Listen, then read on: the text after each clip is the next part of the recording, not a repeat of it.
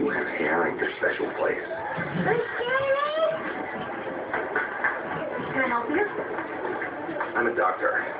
Two of your kids are sick, and I need to know why. You think they got sick here? I think you're dating your dad. He told you? No, no, no. I don't really care what he did. Uh, we go to their house.